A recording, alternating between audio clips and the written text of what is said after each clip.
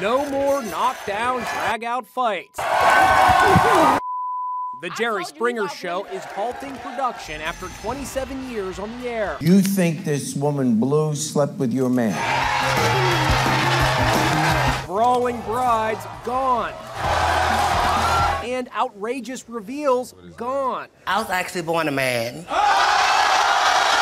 I think the Jerry Springer show, you know, spawned so many imitators that it really was responsible for a whole genre of reality or stage reality television. The Jerry Springer Show debuted in 1991 as a traditional talk show. That is exactly what the President of the United States had said on television. But had not for television. long.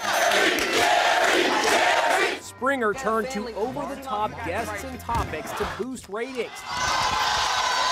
There was a brief period when it even rivaled the Oprah Winfrey Show in popularity.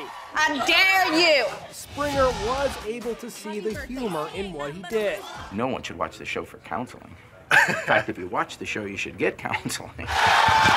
Ultimately, I think Jerry Springer and the histrionics and the fighting uh, did wear out its welcome uh, when it became almost sort of a parody of itself. Now, after nearly 4,000 episodes, the lights go out on the Jerry Springer Show. But the insanity won't be quickly forgotten.